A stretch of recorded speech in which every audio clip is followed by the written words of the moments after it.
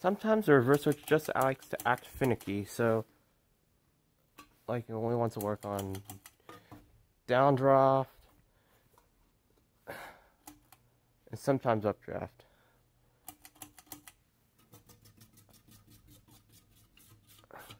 What the heck?